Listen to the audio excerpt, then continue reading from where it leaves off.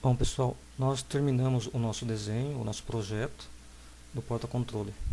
Agora é o momento em que nós vamos preparar esses desenhos, nós vamos organizar para então criar um, um, arquivo DXF ou mesmo DWG, pois o Artican uh, você consegue importar nessas duas extensões que saem do AutoCAD.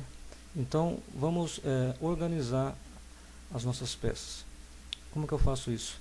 Eu criei um padrão, é, estou usando a nossa a placa de MDF, mede em torno de 2,75 m por 1,80 Então eu vou criar aqui um retângulo é, que mede 1 dozeavos dessa placa.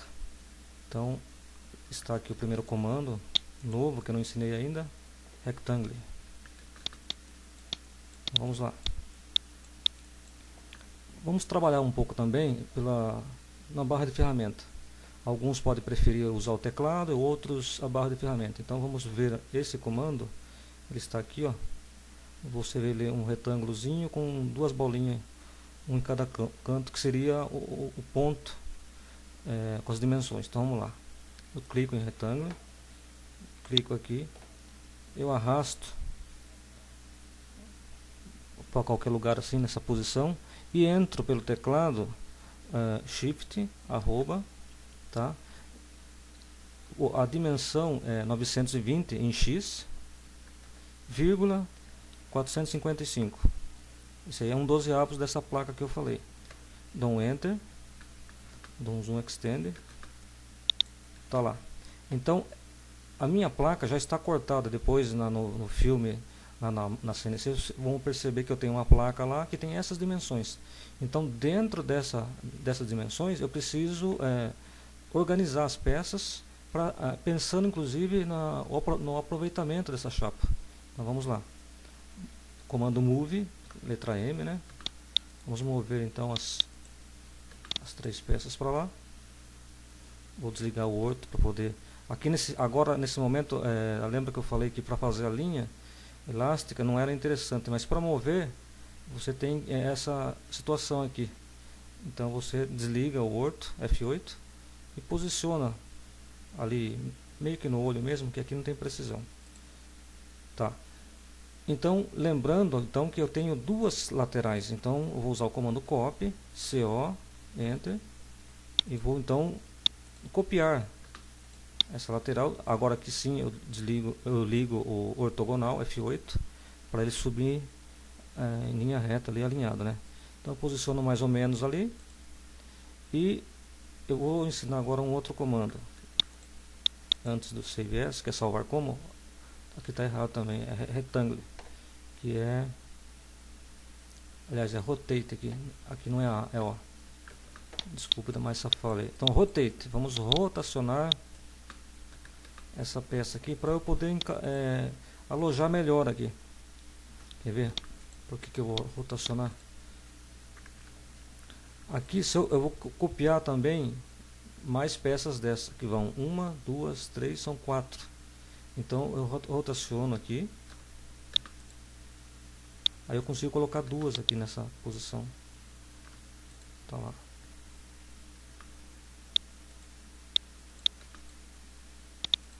Vou copiar então CO.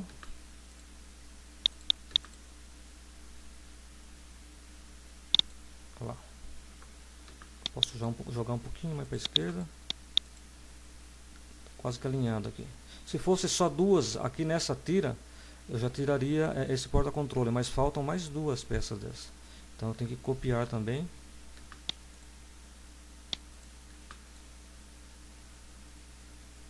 Mais duas ficar sobrando aqui. Aqui seria interessante é, nós preenchermos toda a placa e já num, num programa só cortar aí várias peças, né?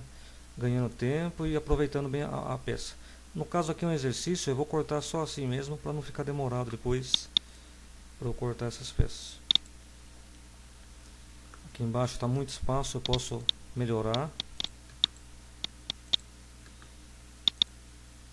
Assim fica a tira fica mais, mais larga, fica mais reforçada.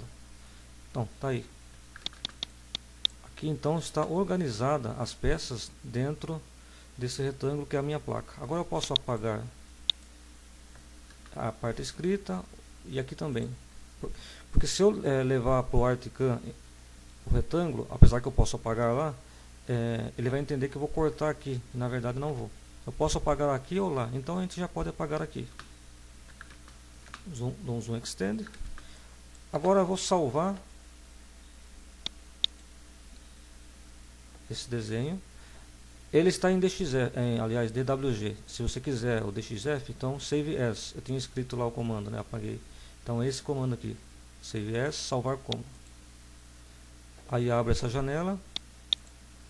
E eu tenho então, várias opções aqui. DXF. Aqui tanto faz o, a versão. Vamos pegar essa daqui. Então aqui já vai dar, vai dar uma saída de DXF. Então eu posso deixar esse nome mesmo que está aqui. Organizando o Artican. E vou salvar então nessa pasta que eu criei lá, puzzle. Pronto, está lá salvo. Então agora vou encerrar aqui, depois no outro filme é, já vai estar no ambiente do Artican. Eu vou importar no Artican e vou criar o programinha, os códigos G, para poder cortar na CNC. Então, até mais.